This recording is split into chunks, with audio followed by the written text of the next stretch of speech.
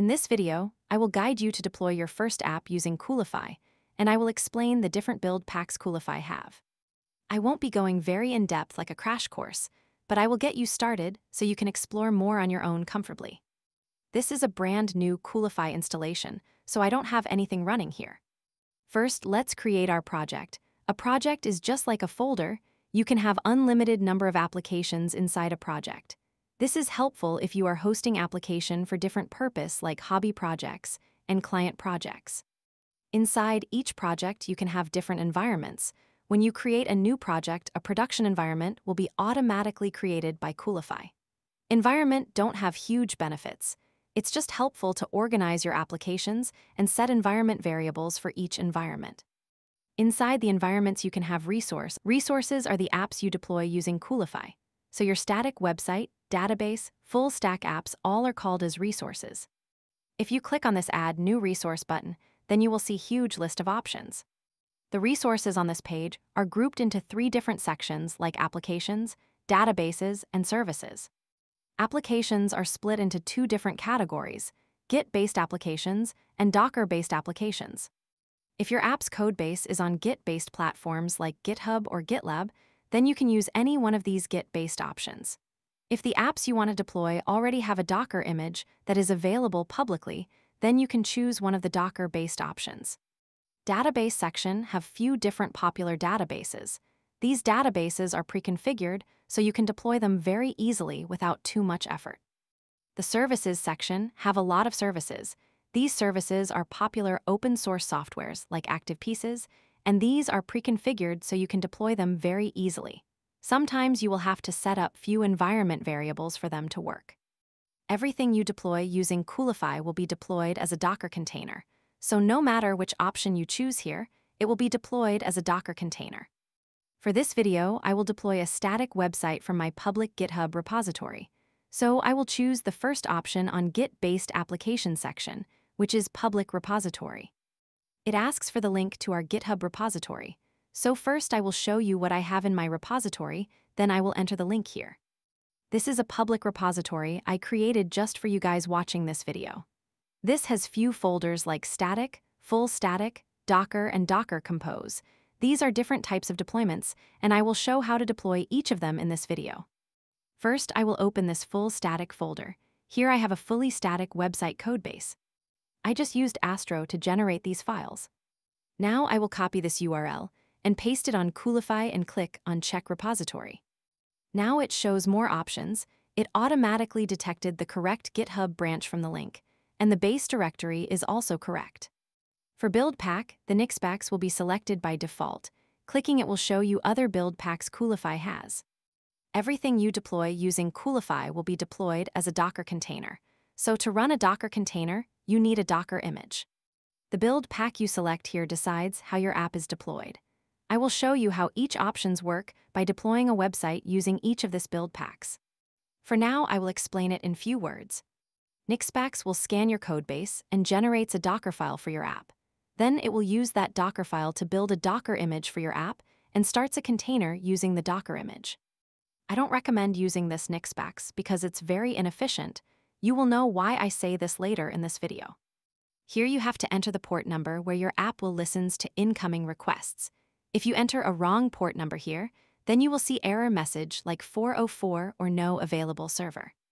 If your app generates fully static content after the build time, then you have to enable this option and enter the directory name where the generated static content will be on. If you have enabled this option, then Nixpacks will start a container with a Nginx web server and your apps build output files, so the web server will serve the static content to your users. Next is Static Build Pack. This option assumes you already built your app or website from somewhere else, and you only have the static content on your repo like I have here.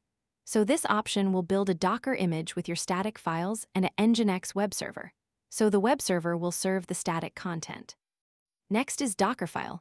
This option will build a Docker image, and starts a Docker container by using the Docker file you have on your repository. The last one is Docker Compose. It's similar to Dockerfile, but here it will use the Docker Compose file you have on your repository. Here you have to enter the location of your Compose file. The file extension, should be same of the compose file you have on your repository, otherwise it will show an error message. First, I will deploy a static website using the static build pack, then I will show the other packs one by one. Once you click on Continue, you will be on this page. Here you will configure your app settings. Here we have a lot of options, but I only cover the necessary option for this video. Let me know in the comments below if you want a video on explaining all the options we have here. You can give whatever name you want to this resource. Here you can change the build pack if you want. And here you can select the web server which will be used to serve your static website. At the moment of recording this video, you can only select Nginx Alpine here. You can add your own configurations for Nginx here. If you already know how to configure Nginx, then first you have to click this Generate button, then you have to edit the configuration from here. Next is Domains, a very important option. You can see here that Coolify generated a domain for me automatically. The first part of the domain is the application ID, which is the one you see here. Next is your server IP address, and the top-level domain sslip.io. You can get a free domain from this sslip.io like this. This is good for testing purpose, but for production we have to enter our domain. So I will enter my domain here as airoflare.cloud. For this domain to work, we have to add a DNS record that points to this server IP address. Here I have two A records. One targets the apex of the domain, which is airoflare.cloud. Some DNS providers shows this as a at symbol, then other A record which is targets a asterisk.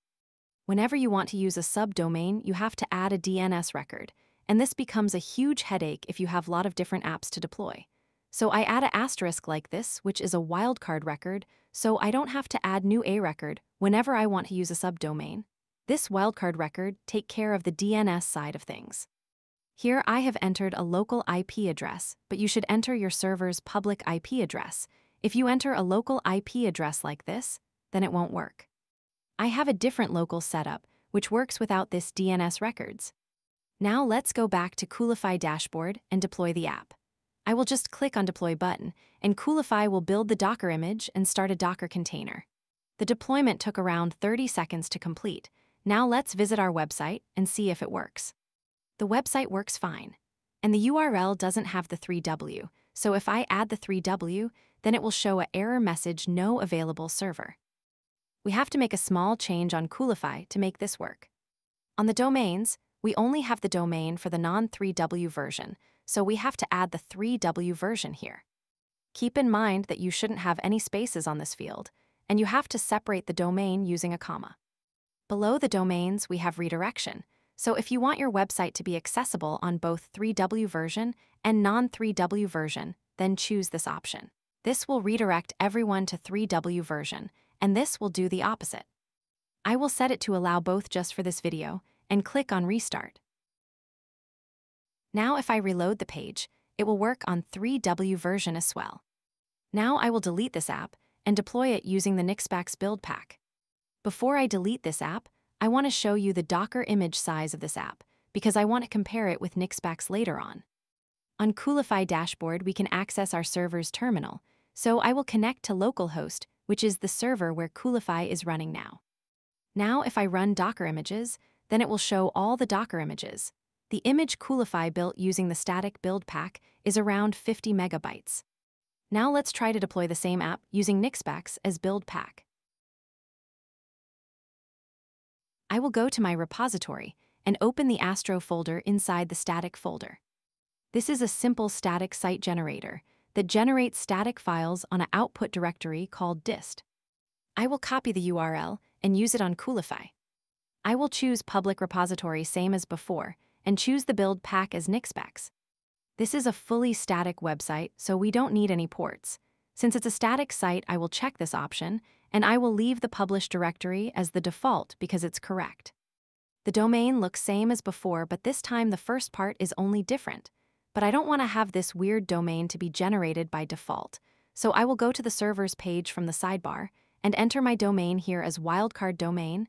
This will ask, are you sure that you want to change this? Don't panic after you see this red message, just click Save. Now if I delete this app and create it again, it should generate a subdomain of the domain I entered as wildcard.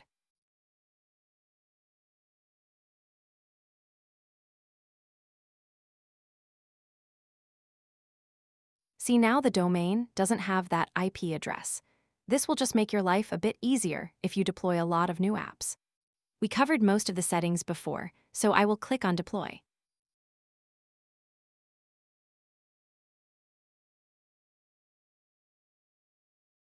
The deployment took 6 minutes to complete. If we visit the domain it works fine like before.